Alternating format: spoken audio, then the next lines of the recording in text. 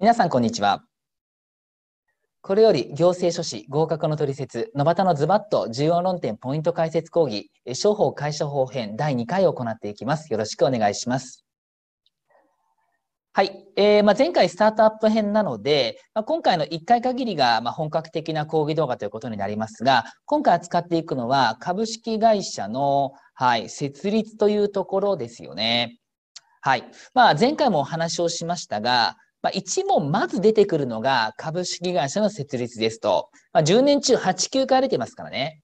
となると、ここを対策しない手はないですよということになっていきます。で、まあ今日講義ではね、こう概要をしっかりお話ししていくので、まあ、そこでしっかりとまず理解していただいてね、骨組みを。後で知識をつけていくということをやっていただければと思います。はい。では、取説テキストは、商法会社法の部分ですね。第4編のところで、24ページを出してください。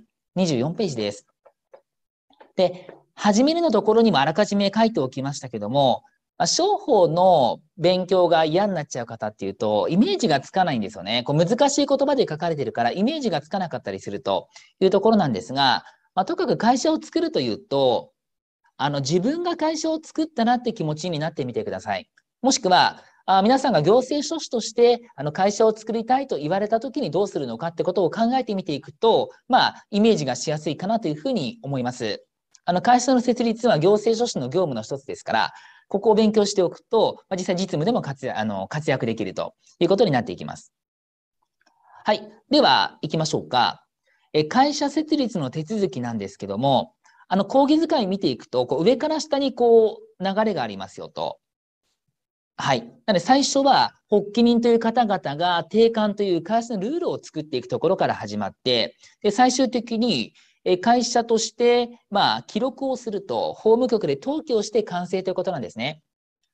で、途中まで一緒なんですが、あのまあ、変わっていくところがありますと、で先に説明しておきますと、発起設立と募集設立と、この違いです。で、発起設立は、まあ、例えばお友達とかと一緒に会社作りたいなと思ったら、まあ、みんなで集まって、最初から最後までそのメンバーで行くと。これが発起設立です。で、募集設立は、まあ、最初は友達が集まって会社を作るのかもしれませんが、こうある程度規模が大きい会社を最初から作りたいと。で、出資をたくさんしてほしいという時に、メンバーは別途募るんですよ。だから募集って言いますね。で、いろいろ募ってお金を出してもらって、株主を作っていくという形なんです。で、今の日本だとほとんどが発起設立なので、まあ、皆さんが行政書士として依頼を受けるのもほぼ発起設立だと思いますが、試験的には募集設立も出ますので、まあ、そこをね、両方とも見ていきたいと思います。はい。なので、えっと、どこの勉強してるのかなって悩んだら、この講義図鑑に戻ってきてくださいね。はい。失礼。では、え25ページを見てください。え発起設立から見ていきます。まず一番スタート、定款の作成です。会社の基本ルールを作るところから始めます。で、会社を立ち上げようとする人を発起人と言いますが、この発起人たちは、定款作って交渉人の認証を受けなければなりませんと。まあ、これから作る会社がちゃんとした会社かどうかのチェックを、まあ、交渉人っていう方から受けないといけませんというところですね。はい。でまず、発起人というところからこう試験には出てくるんですけども、ワンポイント見てください。この会社法上の発起人っていうのは、この定款に署名したら発起人です。はい。あの、実際に会社作る手続きに関わったかどうかは関係なくて、定款に名前書いて印鑑を押せば発起人です。なので、これ気をつけなきゃいけないのが、こう、会社を作るときにいろいろミスをしてしまうと、こう、発起人の責任が発生します。なので、こう、名前だけ貸してくれと言って名前書いちゃったりとか、こう、印鑑を定価に押してしまうと、それ発起人になっちゃいますから、はい。まあ、実際に会社を立ち上げる方が何かミスをしたときに、全く関わってないけど署名してしまった方が発起人として責任を負わなきゃいけないので、あのそこは皆さん実務上も気をつけてくださいね。はい。試験にも出てきますというところです。はい。で、もう少し具体的に見ていくと、定款作成のところです。ここがポイントと。はい。やはり交渉人認証は必要ですということはチェックね。そしてその次。定款には以下の事項を必ず記載しなければいけないと、1から6までは絶対書かないと会社として成立しないというところになってきます。で、こういうものはどこまで覚えるのかすごく難しくなってきますが、まあ、どうですかね皆さんが上から見てみて、これ会社作る最初の段階になければいけないぞと思うんだったら、そこのチェックはやらないと思うんですよ。で、あ逆にこれ書かなきゃいけないのかなと思うものがあれば、まあ、そこを重点的にチェックだと思うんですよね。例えば2番の称号は絶対いるじゃないですか。株式会社なんとかかんとかって絶対称号ないと困りますよね。っていうならば、称号は特にチェックしなくていいし、あと会社がどんな目的で作られるのかみたいなこともないと、まあ、ちゃんとした会社が見抜けませんから、目的必要だとかね、思うんだったらチェックはいらないというところなんですね。はい。ここのチェックは各自にお任せをしますが、えっと、試験対策上は、ここで切るんですね。例えば、1から5までと6でこうね、切っていただくんですよ。で、6番がこれ、発行可能株式総数といって、まあ、この会社があ株式を何株発行できますかと。これから先、株式発行して、株買ってもらってお金をもらうわけですが、その株式何株発行できますか？これが発行可能株式総数です。で、これはそんなに早い段階で決めきれるものではないです。会社を作っていく途中の段階で、えっ、ー、と、株式数を決めたりするので、後回し OK とはなってますが、チェックです。1から5までは定款認証時に決めておく必要がありますが、6、発行可能株式総数は、はい、発起設立では発起人全員同意で後から決められますと。で、募集設立というやり方だったら、最終的に創立総会っていうグループで集まる、メンバーが集まる会があるので、そこで決めると。はい。つまり会社が成立するまでに決めればいいので、はい。ここはちょっと分けておきましょうね。はい。よろしいでしょうか。あと、最近よく出てきているのが、一番下の黒丸、まあ、黒丸と言いますか、丸のところですね。はい。発起人が会社の財産を不当に減少させる行為をする場合、え裁判所が選任した検査役の調査を受けなければならないというところです。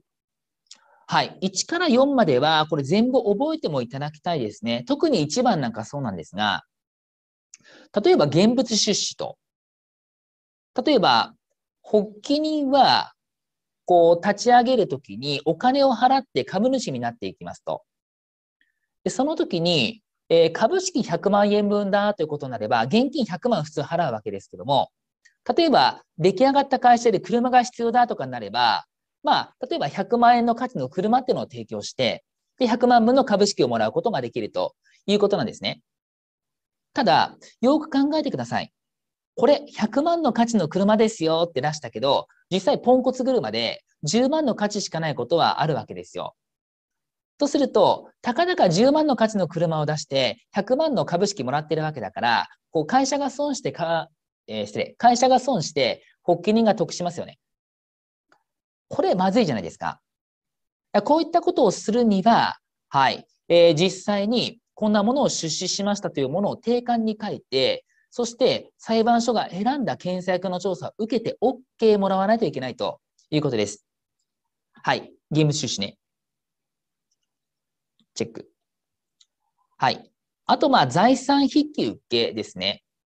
これ何かと言いますと、えー、会社ができるまでは会社の名前で物を買えませんから、例えばコピー機とかね、コピー機とかを先に発起人が買っといて、会社ができた後に会社に渡してお金もらうという形なんですけども、コピー機自体も、例えば10万の価値しかないコピー機を100万の金額で買いましたと言って、100万で会社に売ったら、それ、会社が損しますよね。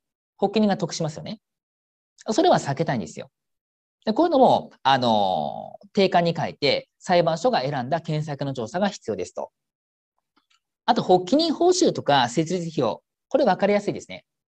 はい。頑張った発起人には報酬が与えられますが、まあ、頑張ったね、発起人さんと報酬5億って変ですからね。そこはちゃんと相場がありますので、はい。この報酬についてもチェックを受けてくださいねと。あと会社作るのにかかった費用も、まあ、多めに見積もられると困るので、ここはあチェックを受けてくださいねということです。はい。こういったえー、会社を食い物にして発起人がこう私服を肥やそうとする行為のことを、変、あの、私服を肥やす可能性がある行為のことを、変態設立事項って言います。はい。まあ、インパクトは名前が強いので忘れないと思いますが、変態設立事項って何ですかってことを4つしっかり押さえてください。で、一つお伝えしておくと、ただ会社って毎日毎日どっかでできるわけですよ。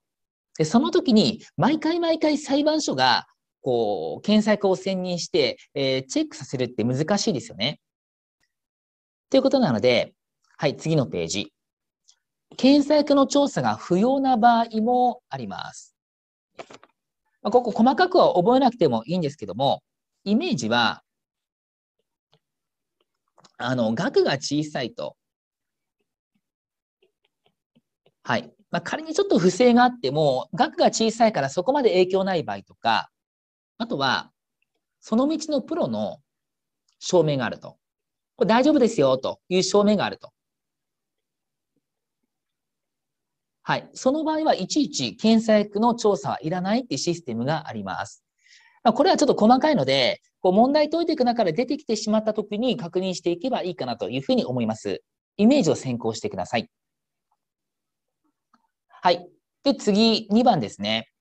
設立時発行株式に関する事項の決定と。はい。定款のチェック受けた後は、発起人全員で、えー、私たち株式何株引き受けるのか、いくらで引き受けるのかを決めなければいけないと。はい。で、これ、いくらで引き受けるか、何株引き受けるかなんですが、ワンポイントもチェックです。発起人は少なくとも1株は引き受けなければなりませんと。つまり、発起人として会社を作るのに、私はこの会社の株主になりませんはダメなんですよ。そこは責任株主としても取ってくださいということね。はい。そこを押さえてください。まこれ全員同意ですね。やっぱり私はたくさん欲しいとか、私はいらないとか、その辺はみんなで考えていかなきゃいけないですから、発起人全員同意ですよというところですね。これも比較的よく出ます。はい。そして3番というところを見ていきますが、じゃあ、発起人は、私は例えば100株もらえますと決めた場合、100株分のお金について、100株分の費用について、全額を払い込むか、全部の現物出資が必要だと。つまり分割とかダメで、全額を払ってくれ。もしくは全部の給付、まあ、車で払うとかね、いうことをしなければいけないというところです。はい。で、ここがポイント。例えば、じゃあ1ヶ月以内に振り込んでねということを決めたとしましょうか。で、1ヶ月経っても振り込みがないときどうしましょうか？はい。払い込みがされないとき、他の発起人たちは期日を定めて、その期日までに履行しなければならない旨を通知すると。つまり、1ヶ月でお支払いすると言ったけど払われてませんよと。遅れているんですが、あと2週間時間差し上げますから、2週間以内に必ず払ってくださいねっていう通知を出します。で、その2週間後、例えばね、お支払いがなければ、もうそこは仕方がないです。期日までに払い込みがなければ、その発起人は株主の権利を失いますというところですね。で、ポイントは、この言葉で押さえておきましょうか。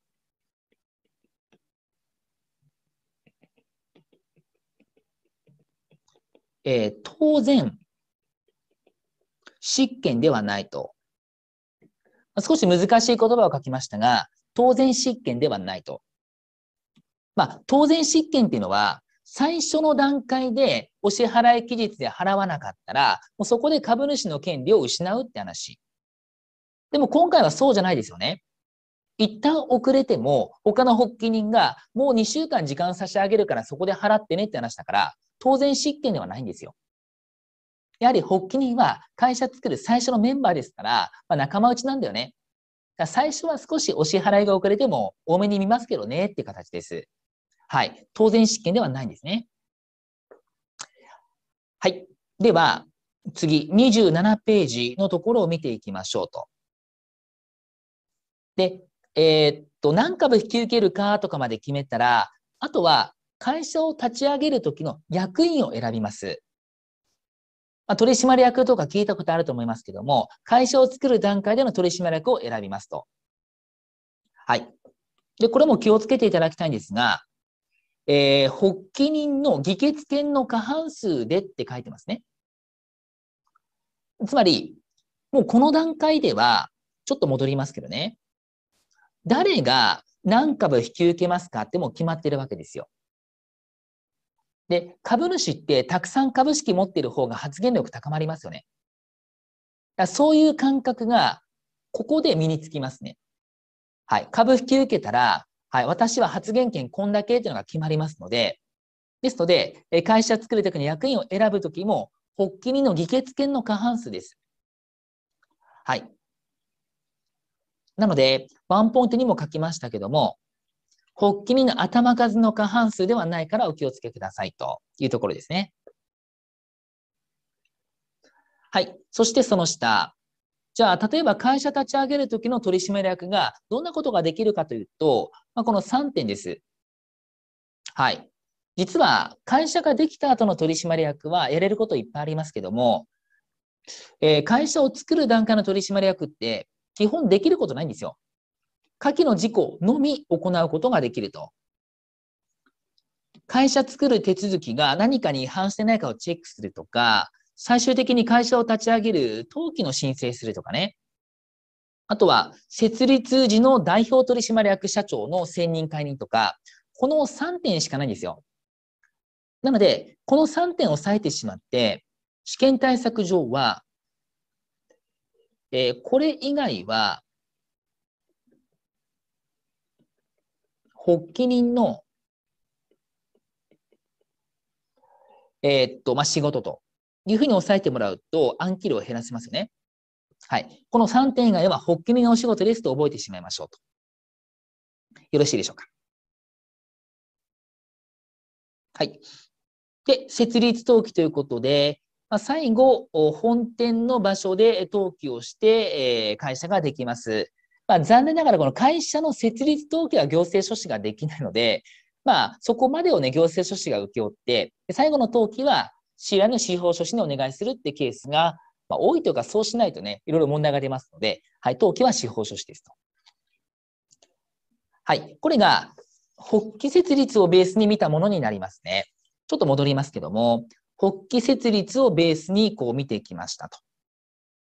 で、あとは募集設立なんですが、まあ、最初は一緒なので、この違いところね、分岐点からあのテキスト作ってますから、そちら見ていきましょうか。28ページというところです。はい。じゃあ1番ね。えー、発起設立は発起人以外にもメンバー募集します。よりたくさんお金集めたいからメンバー募集しますよと。はい。えー、ここがポイント。株主の募集ね。どれぐらい募集かけるのか、あと、お支払い金額いくらにするのかみたいなことは、やっぱり会社の経営的に大きなことですから、発起人全員で決めてくださいねと。発起人全員で設立時の募集株式の数とか、払い込みの金額を決めてくださいねと。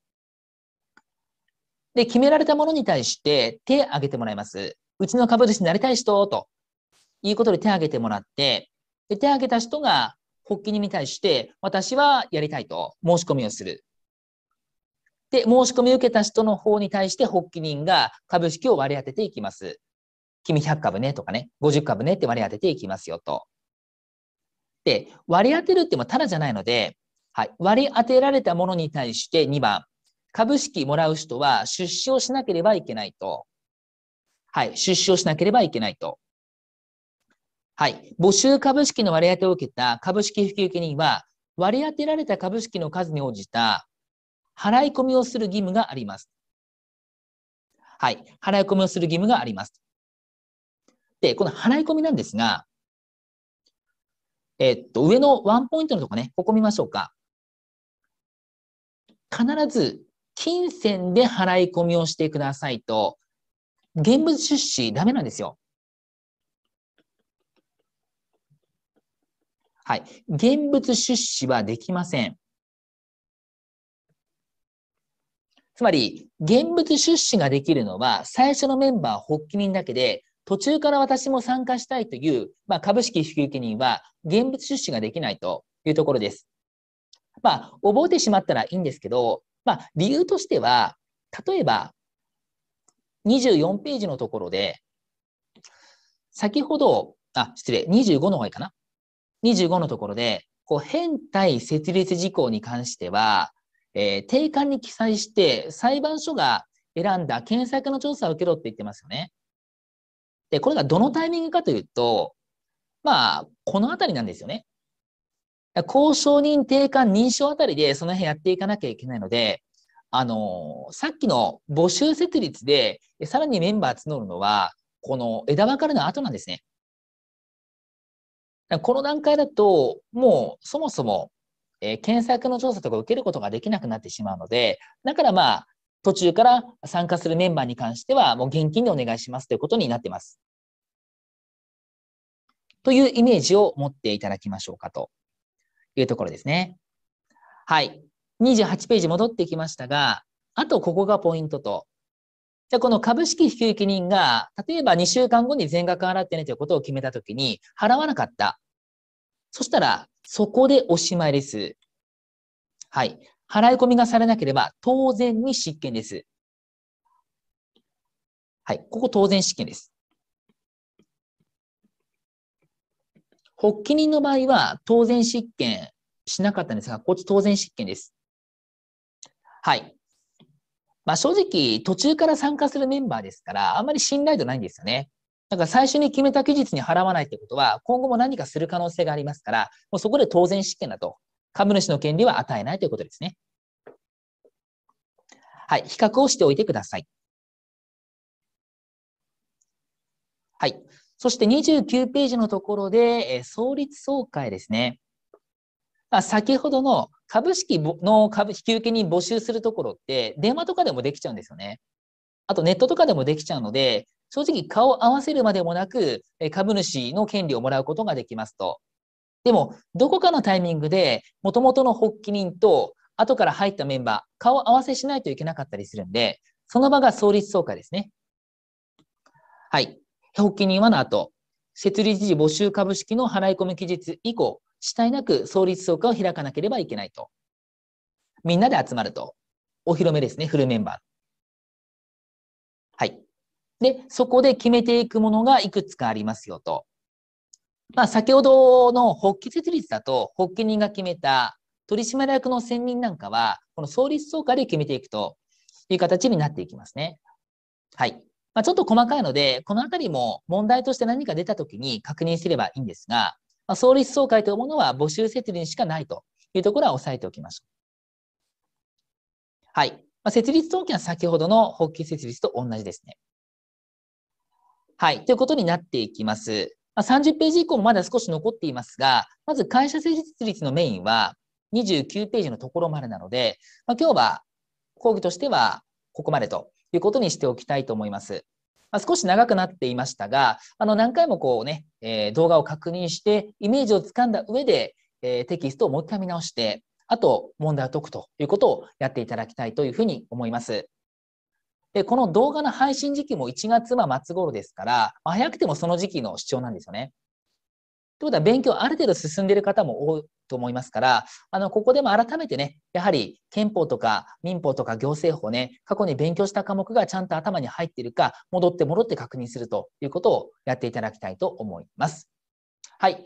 では、今回で商法会社法編の動画は以上です。まあ、次回からあと2回が一般知識ということになりますので、またそこでお会いしましょう。本日は以上となります。お疲れ様でした。